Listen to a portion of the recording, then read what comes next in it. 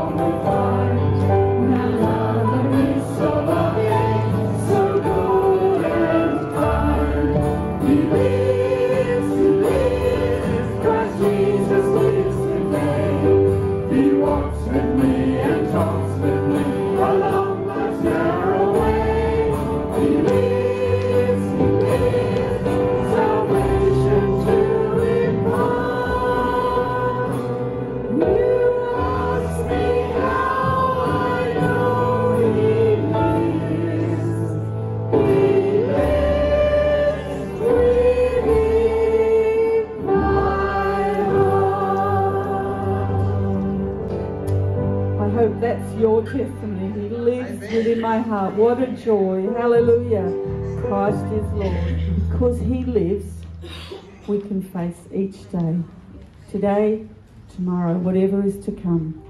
God sent His Son.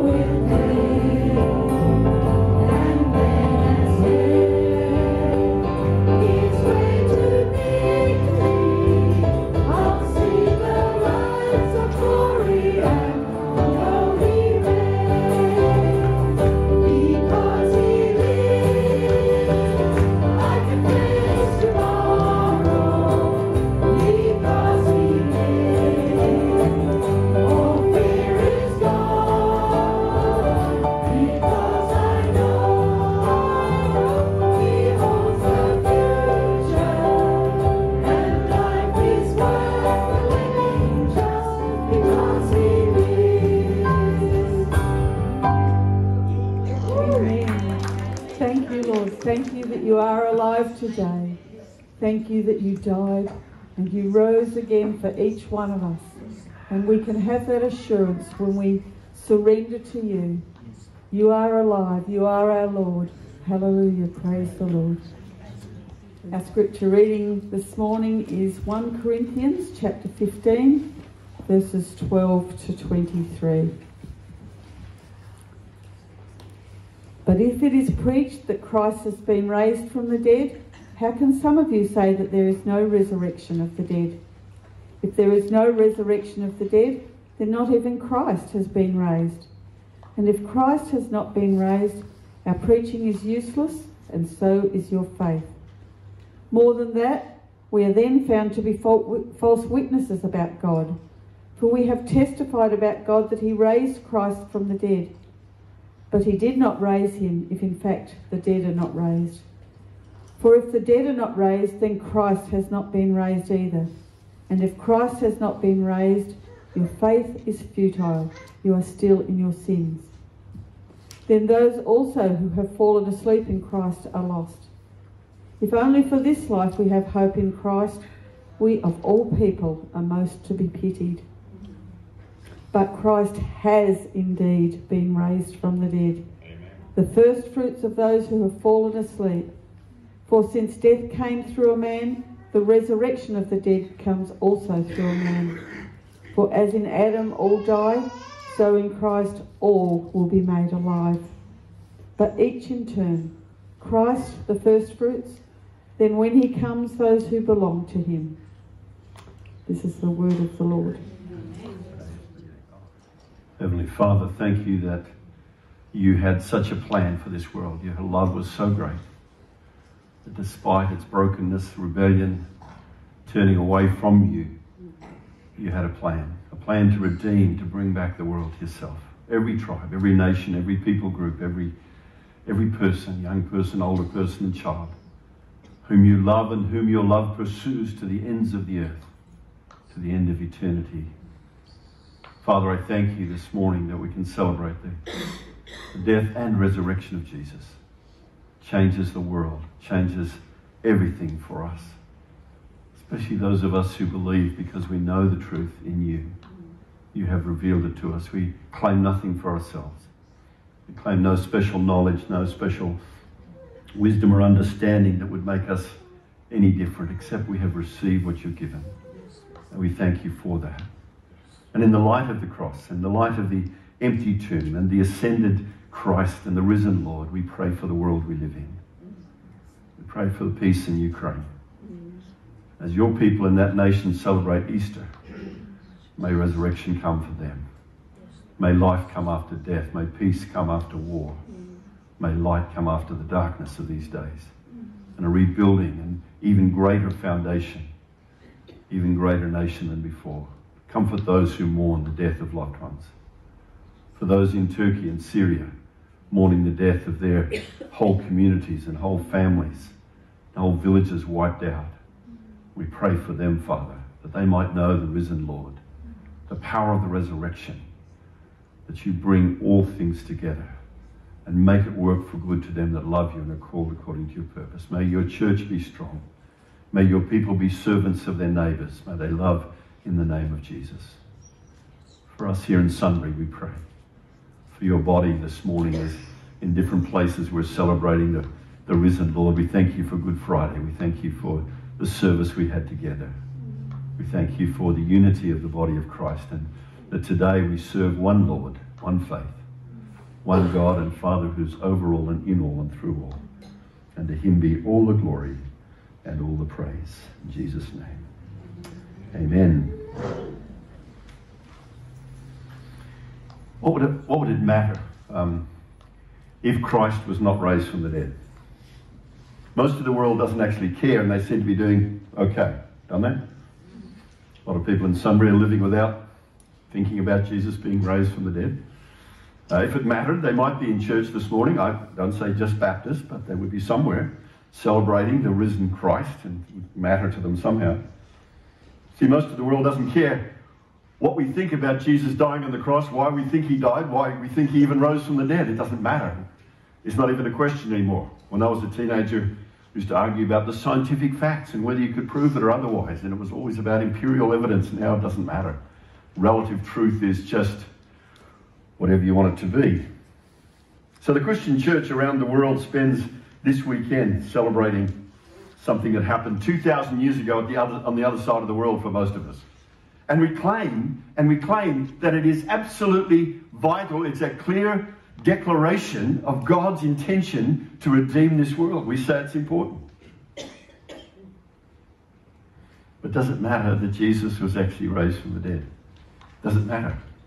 And I'm talking about the historical reality of Jesus being raised from the dead. You see, there are some in the Christian family who are a bit embarrassed about our claims, our claims that, that this Christ, this Jesus, who was born in Bethlehem in a manger, laid in a manger after he was born, he wasn't born in a manger, died on a cross, buried in a tomb, raised again on the third day, that by faith in him there is an exclusive right to come to the Father by no other means except through Jesus. And the fact that he died and rose again is central to that gospel story. That's what we claim. But there's some people embarrassed by that. And they're, and they're Christians. They claim a Christian understanding. But what they will say is, well, you know, this Christ event is like an experience of, of spiritual experience. Other people have different spiritualities, but we're all the same in the end. I remember hearing that in college. My last year of college, we were studying a man called Paul Tillich. And Paul Tillich said that the disciples of Jesus didn't actually, didn't actually see Jesus in the flesh alive. What they were experiencing was the presence of Jesus. And they didn't want his presence to be lost. And they told the story about Jesus appearing to them because they wanted to capture for all time the fact that Christ was amongst us as believers. Sounded kind of plausible, except for one thing. Paul writes in 1 Corinthians 15 If Jesus be not raised from the dead, we of all men are most to be pitied. Our faith is empty, our preaching is useless. Now, far be it from me to say that some preaching is not useless, right? Don't say amen too quick on that one. It's sensitive. I'm going on holidays, it's all right. But there are some people who don't think that it's so important. They don't see the importance of, of what we're talking about when we, when we talk about the resurrection of Jesus.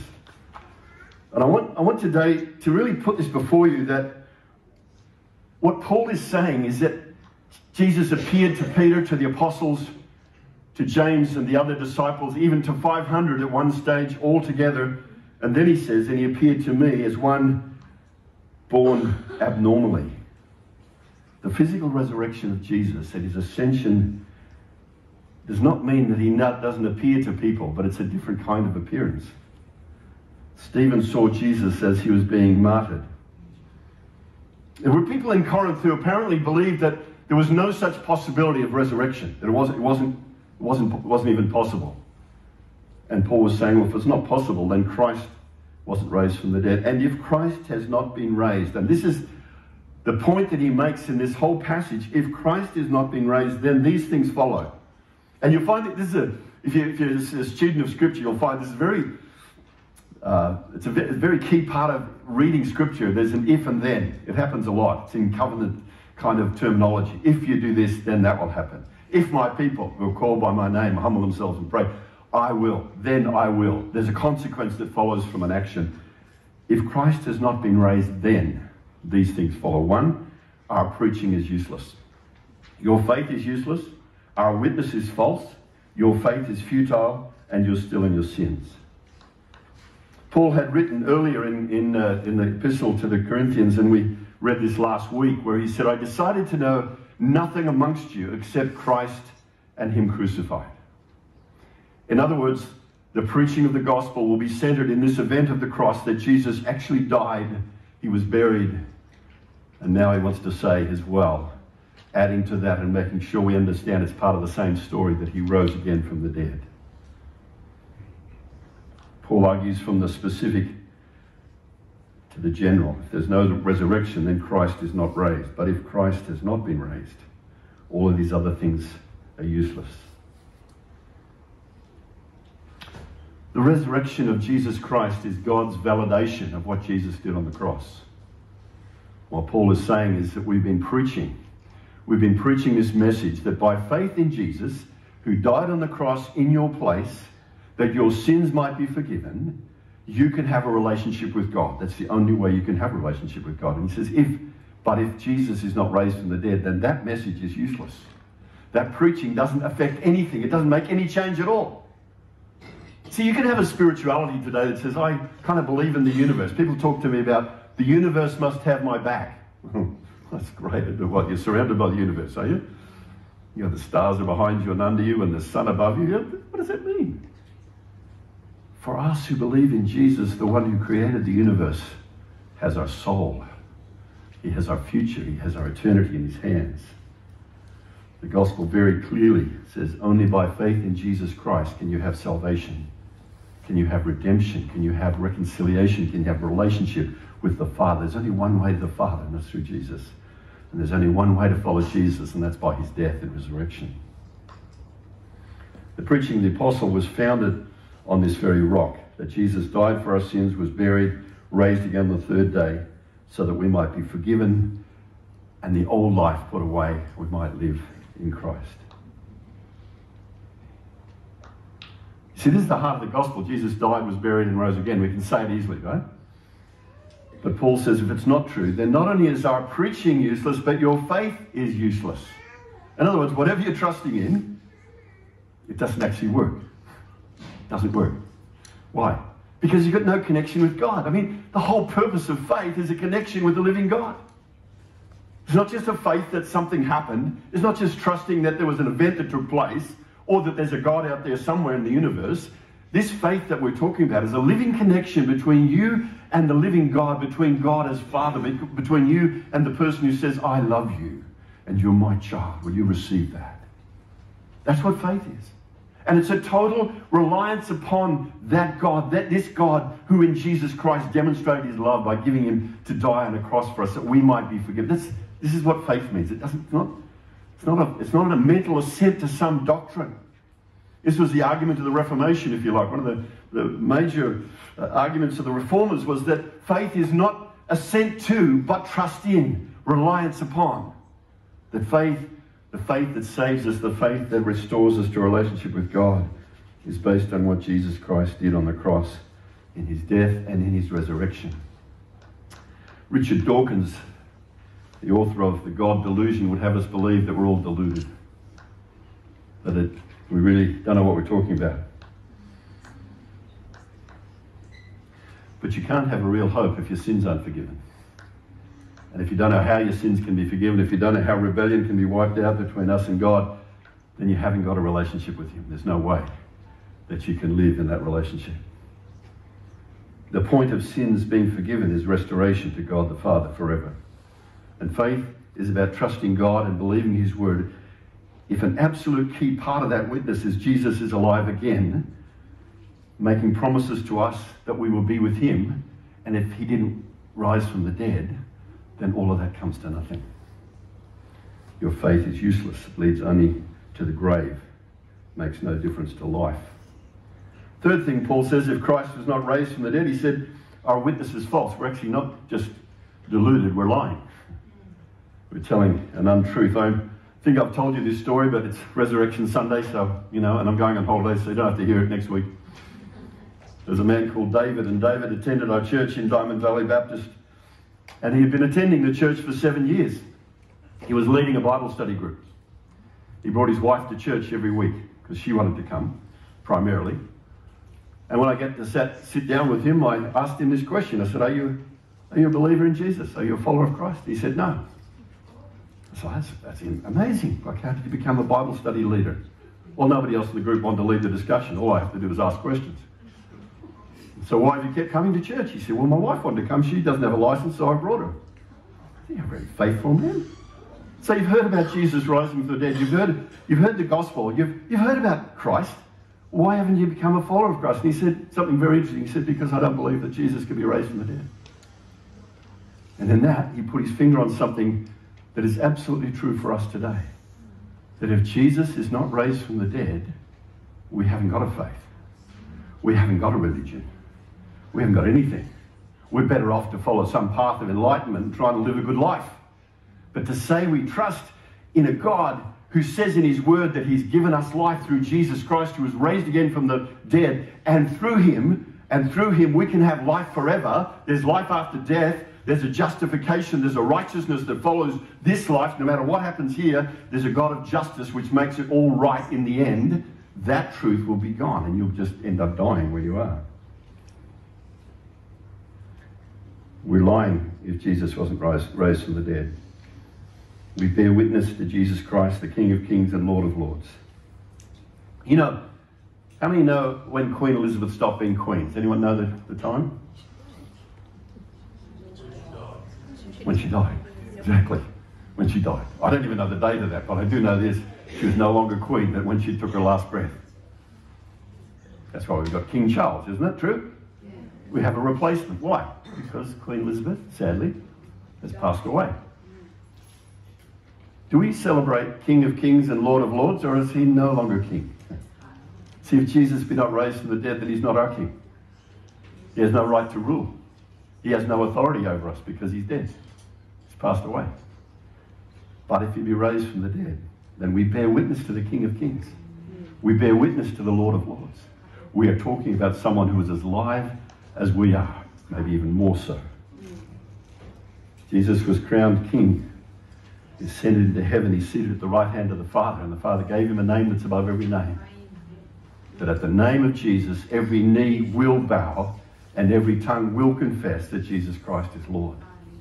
We have the privilege today, if you know this truth, if you understand what I'm saying this morning, if you understand this scripture, you have the privilege of entering into that relationship where you bow the knee and confess Jesus Christ willingly and gladly in anticipation of that promise being true that you will live forever in the kingdom of our God and Father. Amen? How good's that? It's nonsense to people who don't believe it, though. It's absolute nonsense. And I have a problem with that. I've spent 43 years preaching this gospel, and if it's not true, folks, if it's not true, yeah, I've wasted my time. But then you've turned up too, so you can't point the finger at me, can you? That's how foolish it is. This message of the cross, this fact that some person would die on the cross, and even more crazy, that he would rise again from the dead. David said to me, I, I can't believe that Jesus was raised from the dead. I said, that's a bit of a problem, David, isn't it? Have you heard about it? Like, have you read it? He said, Yeah, I've read it. I've been to every Easter service. I said, So you read the Bible and it says Jesus, the tomb was empty, they touched him, they ate with him. Thomas was a doubter. He put his fingers into his hands, he put his fingers into his side. Jesus looked at him and said, Thomas, do you believe because you see me? Blessed are those who believe without seeing. That's you and me, by the way. Blessed are those who believe without seeing. But Thomas did that for us so that we'd know that Jesus actually rose again from the dead, that he was alive, that he was well, that he was there. Jesus was crowned King of Kings and Lord of Lords. But it's it's foolishness, you see, unless you believe that. And I said to David, Well, if you've read it and you, you've heard it, what's stopping you believe it? He said, just it just can't be true. Like, people don't people don't just rise from the dead. I said, Well, here's the problem. The Bible says it's true. There's a record of it.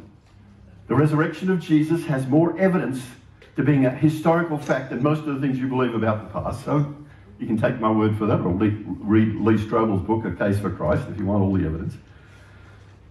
But um, the Bible says it's true, and you say it's not. Now, if the Bible is God's word, and God says it's true, and you're saying it's not, you've got a problem with God, haven't you? Who are you calling a liar here? Just, David, just, just bear with me, all right? I don't want to insult you, but you're actually probably taking a stance against what God says. He said, Yeah, that's true. He said, Well, what, why don't you do this? Just to see if you can break through somehow. Just pray this prayer. God, I'm sorry that I've called you a liar. I really do want to know the truth. I do want to know the truth. You I just have to commit to the truth, just that you want to know it. You're prepared to suspend your unbelief long enough to see if God shows you the truth. He prayed that prayer with me. He went home. Nothing had changed. Next time I saw David, he was so excited. I said, What's the matter? He said, Jesus is alive. I told you that before. He said, But it's true. Said, what happened? He said, I don't know, but I know it's true. And you know, David was so keen for people to know that Jesus was alive that he he helped us get a big bus. He wanted a bus for the church. He wanted to have this kitchen bus. And we had this, we painted it white. And in letters, iridescent red letters across the side of the bus, David had this statement Jesus is the answer. And everywhere that bus went, Jesus is the answer. We got known in the, in the whole district. In fact, the fires came uh, and we were using those buses, and he got known as the Jesus bus. Or here comes the Jesus bus. Because David met the living Jesus. Paul says, if Christ is not raised, then your faith is futile and you're still in your sins. And that's the biggest problem. That's the biggest problem because every philosophy and religion of man leaves man in his original condition. Struggling, striving, working hard, trying to be good, trying to do the right thing. People tell me that I talk to about faith, they say, you know, I'm not a bad person. Relatively, of course, who is?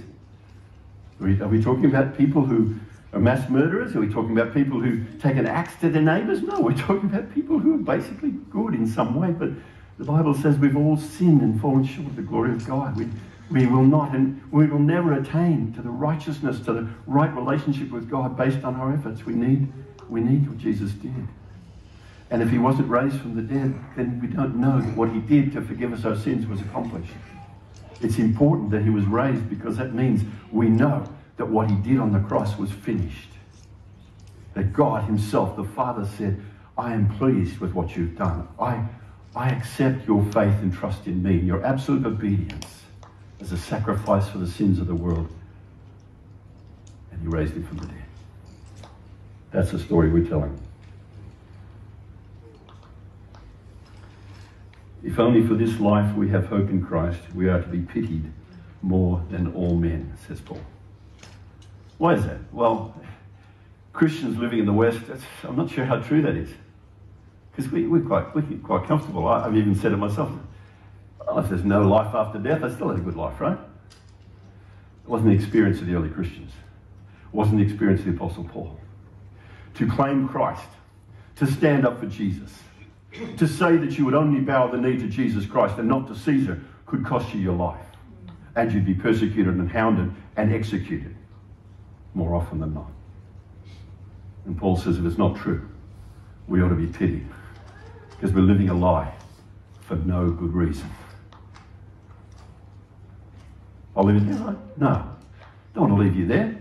I want to affirm to you that we are not wasting our belief. We're not telling lies. We're not hoping in vain. The sacrifice Christ made was not, was not just dying in a grave and staying there, but he rose again that we might have a Savior, a Lord, have forgiveness, freedom, that injustice is answered in Jesus because that which he suffered of an injustice in humanity is satisfied in Christ, is satisfied in God's economy, in God's resurrection. There's an answer to injustice. If Richard Dawkins is right, then we're all deluded. But if we're right, then perhaps there's a different kind of delusion, a delusion that says there is no God and he doesn't matter anyway. Now, that's all well and good. Most of you would say amen so far, despite my sarcasm here and there. You'd say amen to all of that, right? Amen. But is it possible to live, even as a Christian, to live with a belief as a Christian, with, with, with stating what we just said, but live as if it's not true? Now, you're getting the application, right? If Jesus be not raised from the dead, we of all men are most to be pitied. Our faith is in vain. But what if we live as if he's not risen? What if we live without the consequence in our life as if Christ is really alive? Some of you may know the name Jordan Peterson. Don't know if he's a Christian or not. He was asked the question recently Do you believe in God? He said, I choose to live as if God exists. Interesting answer. I don't know what kind of God he has and how he's planning that, but it made me think I choose to live as if Christ has risen from the dead. I choose to live as if Jesus died in my place, has taken my sins, has restored a relationship between me and God, and has given me life eternal. I choose to live as if that's true. Now you can live as if it's not true, or you can live as if it doesn't matter. And that's the point of today is we want to come to that kind of application. That Jesus challenged his disciples. James says, faith without works is dead. Jesus said, Why do you call me Lord, Lord, and do not do what I tell you? In other words, what's the point of you saying you believe something if the actions of your life don't follow the commitment to that belief? If there's not a consequential behavior change or life change or, or actions that follow from that very truth, then what's the point of saying it? You see, for most of our neighbors, for many of our friends, the fact that Jesus is alive today makes no difference to them. He will one day, but not today. It doesn't seem to make any difference. They can live as if life's all good. But if you follow Jesus, if you take his name, if you believe in the risen Lord, when you come before him, he will acknowledge you as his child. And he'll say, Well done, good and faithful servant, if you've served him. Jesus said, Some will come before him and say to him, Did, did we not prophesy in your name? Didn't we cast out demons in your name, Lord? And he says, Depart from me, for I never knew you.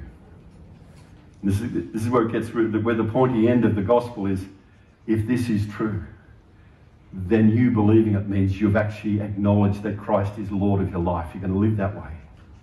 And it's the living of that in obedience to the Father that shows that you have faith. And again, it's a gift. You, you get a revelation of God. You get a revelation of what God has done through Jesus. It comes to you as something God has made known to you. But in making it known to you, He's calling you into a place of obedience. He's calling you and me to live as if knowing this Jesus is alive makes a difference to our everyday decisions. and everything we do, and every value we have, and every thought we have, and every, every part of our possessions and every part of our lives matters because Jesus is alive and He's Lord.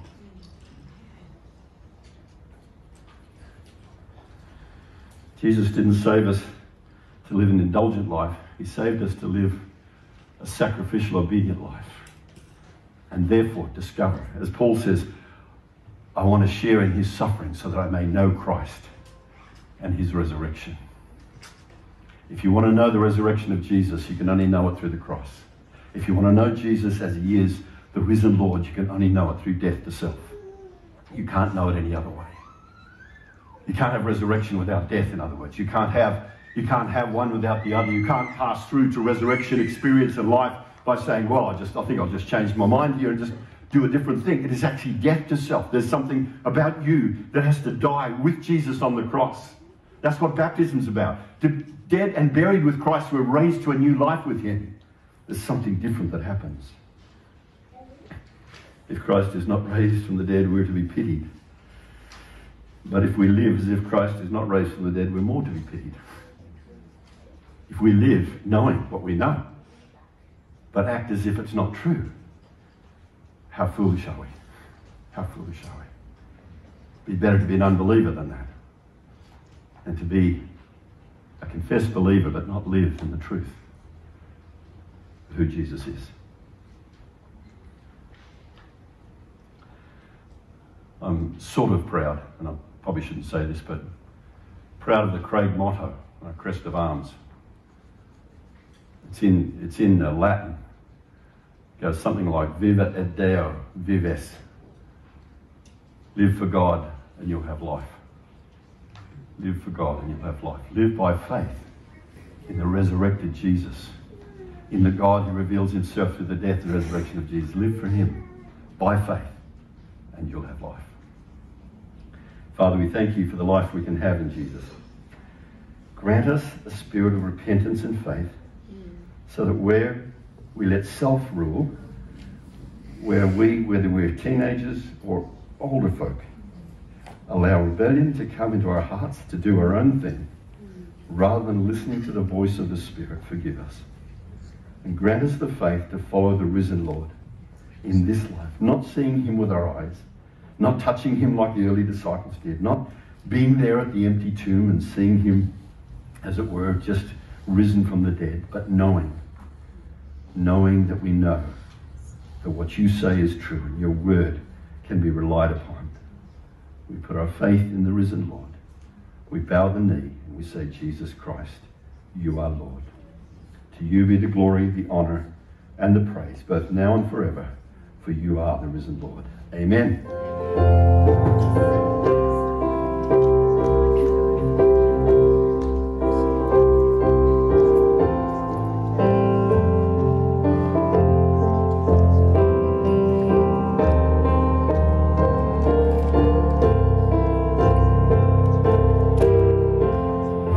So loved